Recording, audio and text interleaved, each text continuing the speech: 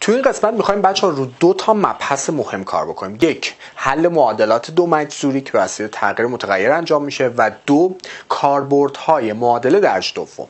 تو هر قسمت درسش رو میدم مثال های خوبی هم آوردم که با هم کار می‌کنیم. بریم اول سراغ حل معادلات دو مجذوری ببینیم اصلا معادلات دو مجذوری چه معادلاتی هستند و برای حلش چه ترفندی رو باید به کار ببریم. نگاه بکن اسلاید رو. معادلات به فرم کلی ax4 به علاوه bx2 به علاوه c مساوی با صفر معادله دو مجذور گوییم در این گونه معادلات x2 را t فرض کرده و معادله تبدیل به معادله درجه دو می‌کنیم و از روش های گفته شده حل می‌کنیم. خب بچه خوب به من دقت بکنید. حل معادلات دو مجذوری یعنی چی؟ یعنی یه معادله که توان چهار و توان دو داره. یه دونه توان چهار یه دونه توان دو داره. ما تو سطح دبیرستان از حل کردن معادلات توان سه معادلات توان چهار و بالاتر عاجزیم و نمی‌تونیم اینا رو حل بکنیم. فقط درجه یک و درجه دو رو می‌تونیم حل بکنیم. ولی بعضی از این معادلات درجه چهار رو می‌تونیم با یه ترفند با یه روش تبدیل بکنیم به معادله درجه دو و حلش بکنیم. اگه یاد باشه معادله درجه دو پنج تا روش بهت گفتم. دلتا جمله مشترک مربع کامل و ما بقیه جریان. راحت ترین اون پنج تا تجزیه به روش جمله مشترک بود که خیلی راحت انجام میشه میایم چیکار می‌کردیم؟ گفتیم جمع دو تا ریشه میشه. این ضربش میشه. این دو تا عدد پیدا کن که جمع و ضربش اوکی باشه. بعدم میذاشیم دو تا پرانتز x x جمع دو تا ریشه و حساب می‌کردیم. پس برای حل معادلات که یه دونه توان چهار داره و یه دونه توان دو داره. باید بیایم تبدیلش بکنیم با یه ترفندی به معادله درجه دوم و بعد حلش کنیم. حالا اون ترفنده چیه؟ اینجا رو نگاه بکن قبل از اینکه بریم سراغ مثال بعدی. ترفنده این هستش. بچه میام از یه تغییر متغیر استفاده می‌کنم. یعنی x دو رو می‌گیرم t. X دو رو می‌گیرم t. هر جا x2 دیدم می‌ذارم t. X4 دیدم پس میشه t به توان دو. به علاوه به x2 دیدم می‌ذارم t. حالا تبدیل شد به معادله درجه دوم. حلش می‌کنم.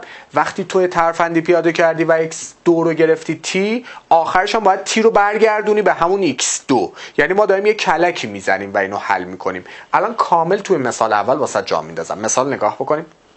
جواب معادله x4 منهای 6x2 به علاوه 8 مساوی 0 رو به دست خب بچه ها یه دونه توان 4 یه دونه توان 2 یاد معادلات دو مجذوری میفتم برای حل معادلات دو مجذوری x2 رو می‌گیرم t. هر جا x دو دیدم می‌ذارم t. X4 میشه t به توان دو. نگاه بکن. میام اینجا میگم این معادله توان 4 من. حالا x2 رو اگه t بذارم x4 هم میشه t2 منهای 6 x2 همون تیه دیگه منهای 6 تی به علاوه 8 حالا یه معادله ایجاد شد با متغیر تی. این معادله که من دارم درجه چنده؟ درجه دوه. می‌تونی حلش بکنی؟ بله. از چه روش حلش بکنم؟ ساده ترینش جمله مشترکه. اگر بهت پا نداد جمله مشترک بر سراغ دلتا. حالا میام جمله مشترک اینو حل می‌کنم. فرض می‌کنم متغیرم تیه. بچه ها دو تا عدد به من بگین که ضربش بشه 8 جمعش بشه منفی 6 تابلو چه عددی میشه 8 دو چهار. چون اینجا منفی شده منفی دو منهای 4 پس دو تا پرانتز می‌ذارم. تی تی منفی دو منهای چهار مساویه با صفر. بهت یاد داده بودم وقتی دو تا پرانتز حاصل ضربشون بشه صفر تک تک برابر صفرن. یه بار این برابر صفر یه بار این برابر صفر. پس تی منهای دو مساوی با صفر تی میشه دو. تی منهای چهار مساوی با صفر تی میشه چهار. و تی رو به دست آوردم. آیا تموم شده؟ نه. هنوز کار داره. تو تی رو به دست آوردی. اگه یاد باشه کلکی زدی. x2 رو گرفتی تی. حالا باید به جای تی x2 بذاری حلش کنی. نگاه بکن. میگم به جای تی باز می‌ذارم x2 یعنی برش میگردونم به اون حالت اولیه. x2 مساویه با دو. x2 مساویه با چهار. اینو باید حل کنم. من x رو می‌خوام. X مساوی با دو باید از طرفین جذر بگیرم. X مساویه با هر موقع جذر می‌گرفتی مثبت و منفی ایجاد میشه مثبت منفی رادیکال دو. جذر نداره میره داخل رادیکال. X2 مساوی با 4 باید جذر بگیرم. اولا مثبت منفی می‌خواد بعدم 4 جذر میشه مثبت منفی 2 پس این معادله درجه 4 رو تونستم با یک کلک با ترفند حلش بکنم. چند تا جواب داره؟ 4 تا جواب داره. مثبت منفی رادیکال دو مثبت منفی 2 این روال روال خوبیه و اینو کامل به خاطر بسپار. کاربردهای معادله درجه دوم. در بسیاری از مسائل می توانیم یک معادله درجه دوم تشکیل داده و مسئله را حل کنیم. برای حل مجهول مسئله را x مینامیم و با توجه به اطلاعات مسئله معادله را تشکیل می‌دهیم و x را میاریم خب بچه تو ادامه می‌خوایم بیایم این کار انجام بدیم. تا اینجا میومد معادل درجه دوم با می‌داد حل می‌کردیم. حالا میاد یه توصیفی یه همونطور که گفتم یه توصیفی یه توضیحی به ما میده و ما باید به معادلش رو ایجاد بکنیم. معادل درجه دو میشه بعد حلش بکنیم. برای اینکه بیایم این کار انجام بدیم و راحت تر بتونیم کار انجام بدیم هر متغیری که تو صورت سوال به ما داده اونو x در نظر می‌گیریم. با توجه چیزایی که به ما گفته معادله رو ایجاد می‌کنیم. بریم سراغ مثال اول. یک عدد طبیعی را با مربع آن جمع می‌کنیم. حاصل سی می شود این عدد را به دست آید خب بچه بازم میشه کاربرد معادله در داره یه توضیحی به من میده که من باید بیام معادلش رو ایجاد کنم بعد حلش کنم. گفتیم اون چیزی که به من داده رو x می‌گیرم. یه عدد طبیعی. عدد طبیعی رو می‌گیرم x. مربع مربع آن جمع می‌کنیم. بچه تو ریاضیات مربع یعنی توان دو مکعب یعنی توان سه.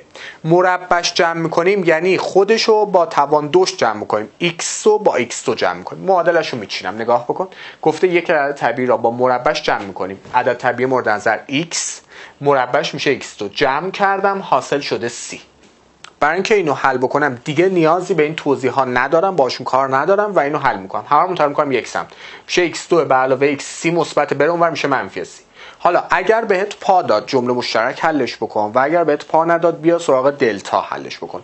دو تا عدد به هم بگو ضربش بشه سی. چه عددی اصلا ضربش میشه سی؟ 5 و 6 جمعش باید بشه مثبت یک. پس باید بشه مثبت 6 منفی 5 که ضربشون هم بشه منفی. دو تا پرانتز می‌ذارم.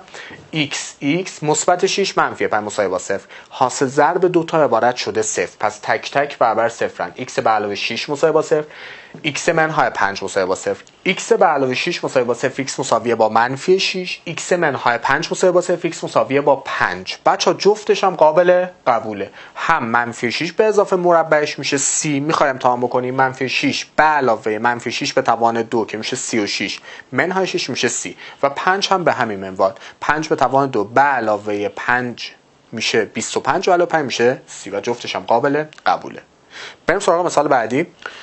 مساحت یک زمین مستطیل شکل 20 متر مربع است. اگر طول زمین یک متر بیشتر از ارزان باشد طول زمین چقدر است؟ خب بچه نمونهش رو تمرین های کتاب اومده و خیلی هم روی امتحان نهایی روش مانور دادن. یک بار بخونیم تجزیه و تحلیل بکنیم. ما قرارمون بر این شد که برای حل این جور کاربردهای معادله در جوم یکی رو x بگیریم. اون یکی رو با استفاده از x بچینیم و معادله تشکیل بدیم. گفته مساحت یک زمین مستطیل شکل. آقا زمینم مستطیل شکله.